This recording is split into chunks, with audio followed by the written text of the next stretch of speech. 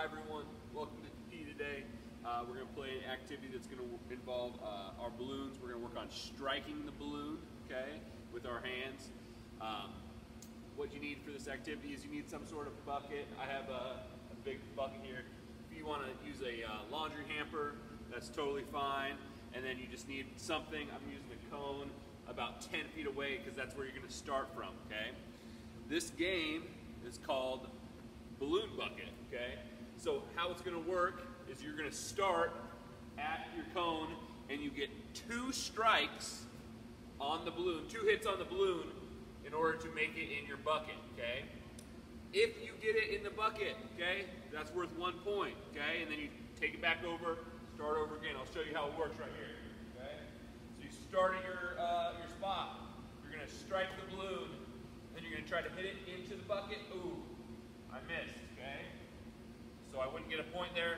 I'd go back and start over, okay? So we're gonna see how many points we can get in 60 seconds, okay? I'm gonna start the timer on my uh, computer. Three, two, one. Strike the blue. Ooh.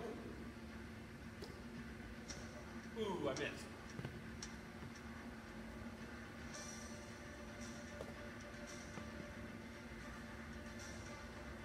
One point.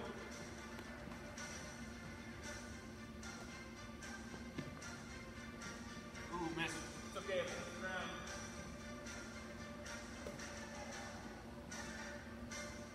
Two points.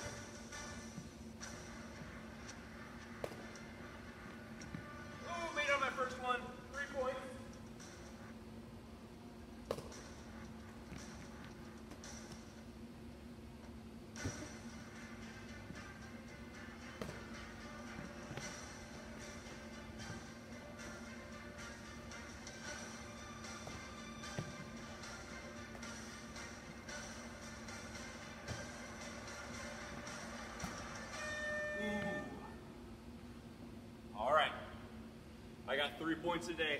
I want you to try and beat my score at home. Have a good day. Thank you.